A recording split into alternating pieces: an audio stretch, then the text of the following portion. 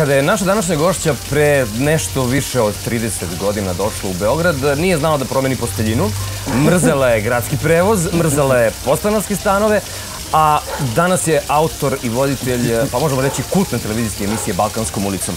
Vesni Deljić, želimo dobrodošlicu. Zdravo.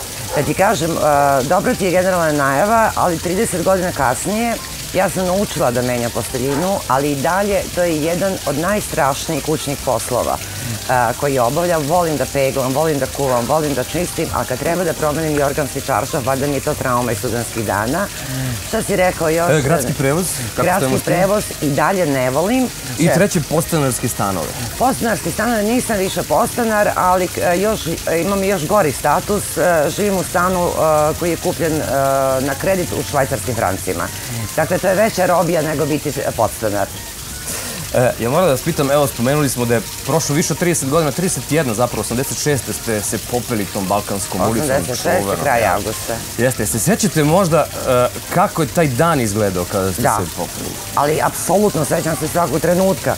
Ne bi ti mogla reći šta sam juče radila, detaljno, ali tog dana se sećam. Znam da sam išla, ja sam krenula uveče, je kretao voz iz Podgorice oko 10, ja mislim u 10 da je kretao i pratili su me mama i tata i moje društvo e, koje je pevalo i imitiralo trubače i ja sam imala plavi kofer i voz je putovao cele noći i imala sam seduljicu na kojem je bilo, uh, uh, bila adresa Fakulteta dramskih umetnosti u tadašnjoj Košeminovoj ulici, danas Bulevar umetnosti, pošto sam išla polažem prijemnu dramaturgiju.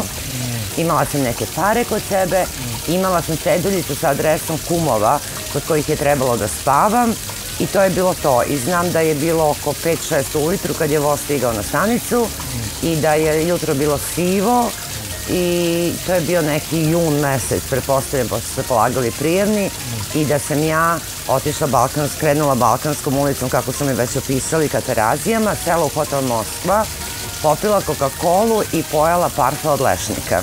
Vi ste bili na mnogo destinacija, proputovali ste dosta i mnogo tih destinacija je nedostajani san mnogih od ljudi koji gledaju našu emisiju. A šta biste preporučili koja je onako jedna, hajde da kažem, ali znam da je težak izbor, ali jedna destinacija koja je onako topla preporuka za odmah? Volim da idem na duge odmore, volim ja da putujem avionom i tako dalje, ali najlepše, nešto što meni prija mom karakteru je da krenem u bilo koje doba dana ili noći sa svojim detetom, svojim kolima i tako krenem.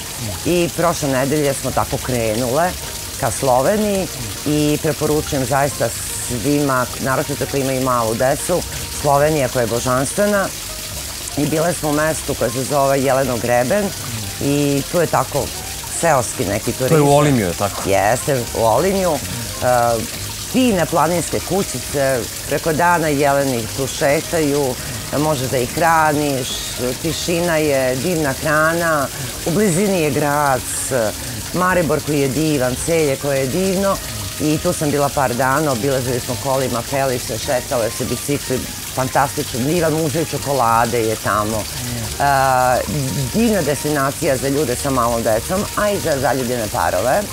Vesna, hvala vam puno što ste izdvojili vremena za Jo, hvala emisiju. što ste me zvali. Sledeći put ćemo se potruditi da nabavimo karirani stolnjak. Nadam se da je ovo, ovo bilo okej. Malo za promenu, Potpuno, da ne može, bude karirani može. stolnjak. Zbog ovog globusa sve na mestu. A vi uživajte u putovanjima i u romanima naše današnje gošće Vesne Dedić i neka vam ovo leto malo samo uspori. Eto tako, toliko da možemo da uživamo što duže.